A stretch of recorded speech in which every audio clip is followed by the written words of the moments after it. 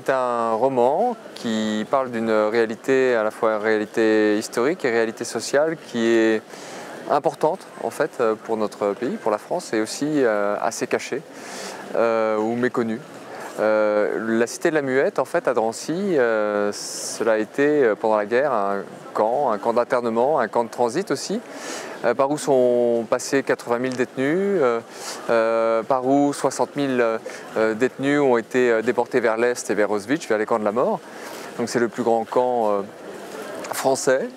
Mais l'histoire ne s'arrête pas là. Hein. En fait, à la fin de la guerre, ce lieu aurait dû être soit détruit, soit transformé en lieu de mémoire.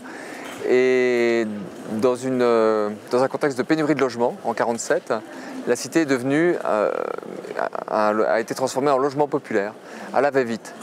Et aujourd'hui, en fait, en 2017, euh, des gens habitent toujours là. la cité est gérée par euh, l'office des HLM. Alors c'est une cité de banlieue. C'est pas une cité de banlieue euh, parmi les pires ou les plus dures, pas du tout. C'est une cité de banlieue, on va dire, comme il y en a beaucoup d'autres dans, la banlieue nord, avec les problèmes qui sont liés, enfin, d'exclusion sociale. Et quand j'ai découvert cette réalité, c'était en fait assez tardivement. Euh, je me suis euh, passionné en fait pour le sujet. Je suis allé euh, pendant 5 ans, de 2010 à 2015, toutes les 2-3 semaines, passer une demi-journée là-bas, mais pas seulement dans la cité, aussi à Drancy, rencontrer les gens, les habitants. Et petit à petit, j'ai assemblé un matériel d'enquête et j'ai décidé d'en faire un roman. Alors dans le roman, on a deux voix qui alternent, deux personnages. Donc c'est vraiment un roman, c'est une fiction documentée. Il y a la voix d'une femme qui a été détenue dans la cité en, 1943 et qui raconte l'été 43, elle, parle avec un historien.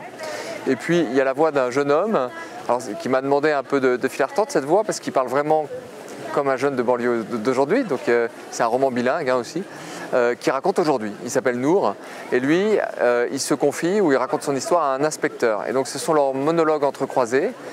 c'est, si vous voulez, le dispositif romanesque que j'ai trouvé pour raconter l'improbable c'est-à-dire le fait que des gens euh, se coltinent au quotidien euh, l'histoire d'un lieu qui est euh, insoutenable. Pour ce qui est de la documentation sur le passé, alors il y a des livres d'histoire qui sont, bien faits. J'ai apprécié particulièrement un livre de Maurice Rachfus qui s'appelle Drancy, un camp, de un camp de concentration très ordinaire. Et puis il y a un travail admirable qui a été fait par Annette Vivorca. Euh, il y a beaucoup de témoignages aussi. Alors pour un romancier, les témoignages, c'est parfois plus, plus important encore comme source que les livres d'histoire parce que les témoignages, alors beaucoup ont été publiés, parfois dans, de, petites maisons d'édition. On en trouve sur internet aussi, il y a des familles qui publient euh, leur histoire personnelle, il faut chercher un peu mais on les trouve. Et là, on a les détails du quotidien, ce qu'on mange, euh, à quelle heure on se réveille, comment on est habillé, comment on fait pour aller aux toilettes, ce genre de choses qui sont extrêmement importantes pour un romancier mais pas pour un historien, c'est-à-dire raconter le quotidien. Par exemple, pour moi, c'était un enjeu de savoir si oui ou non les carreaux des chambrées avaient été peints en bleu. Il semble que ce soit le cas. Ça change tout pour un romancier parce que ça veut dire que le jour, euh, la peinture bleue filtre la lumière et qu'il règne dans les chambrées une, pénombre bleuâtre. Euh, d'après les témoignages que j'ai recoupés, c'était comme ça. C'est pas écrit dans les livres d'histoire, mais ça change complètement l'atmosphère du roman. Pour ce qui est d'aujourd'hui, euh, c'est un travail d'immersion, en fait, de promenade dans la ville. J'ai rencontré quelques avocats euh, qui sont inscrits au barreau de Bobigny et qui, euh, euh, plaident, parce que en fait mon personnage Nour, il, a un problème, il est en garde à vue, donc qui, plaide pour voilà, du petit banditisme local, j'ai, enfin donc des pénalistes.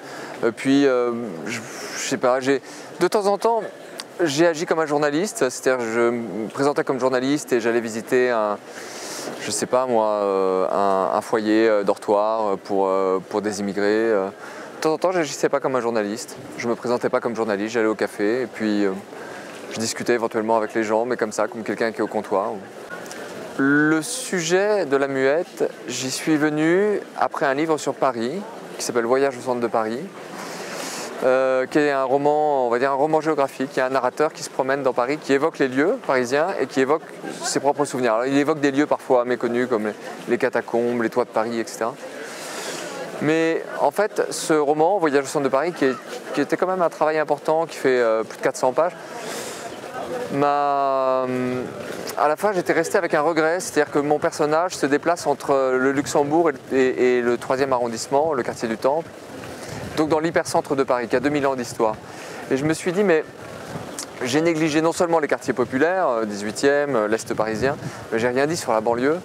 Et je voulais revenir à la question de la banlieue. Et, en commençant à, travailler sur euh, les lieux, la banlieue, c'est là, que je suis tombé sur l'histoire de la cité de la Muette.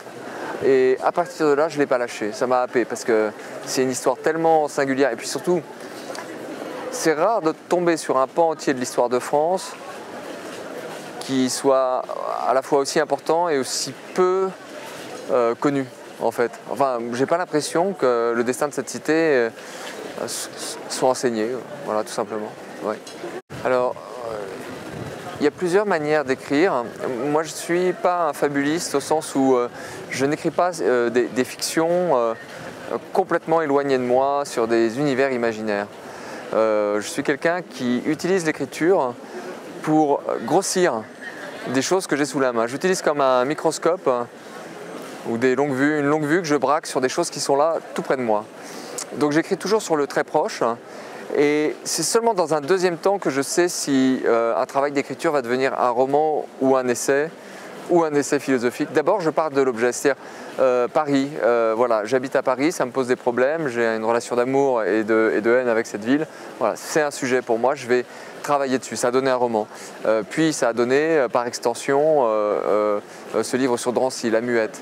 Mais par le passé, j'ai pu écrire sur l'alcool, mais j'ai une histoire qui est liée à l'alcool. Alors j'ai écrit un essai, c'était se noyer dans l'alcool. J'ai écrit un essai sur le baiser, parce que j'ai beaucoup aimé embrasser, c'est bien fini, mais non, je plaisante. Mais euh, et, voilà. Donc non, mais j'écris toujours sur le proche. Voilà. et donc euh, euh, je, transforme en littérature ou en essai, enfin en, fiction ou en essai, ces choses qui non seulement sont proches de moi, mais qui m'obsèdent.